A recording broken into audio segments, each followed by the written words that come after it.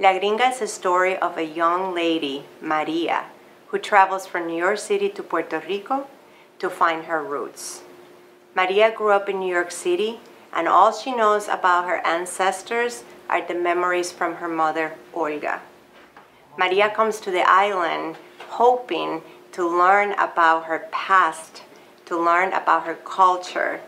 And when she arrives there, she's received with a very cold welcome from her family. So Carmen Rivera provides us with this beautiful script in which she talks to us about all the traditions in Puerto Rico. She uses comedy to present us with some really hard topics sometimes about our differences between cultures.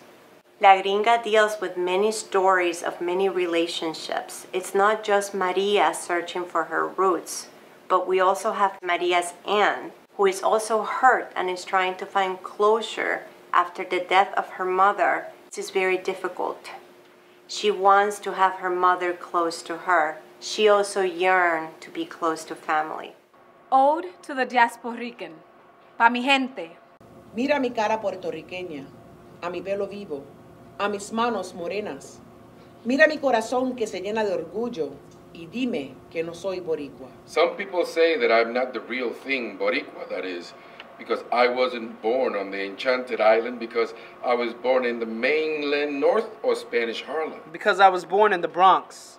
Some people think I'm not bona fide because my playground was a concrete jungle. Because my Rio Grande de Loíza was the Bronx River. Because my Fajardo was City Island. My Luquillo, Orchard Beach. And summer nights were filled with city noises instead of coquis. And Puerto Rico was just some paradise that we only saw in pictures. What does it mean to live in between? What does it take to realize that being Boricua is a state of mind, a state of heart, a state of soul? Mira mi cara puertorriqueña, a mi pelo vivo, a mis manos morenas. Mira mi corazón que se llena de orgullo y dime que no soy boricua. No nací en Puerto Rico, Puerto Rico nació en mí.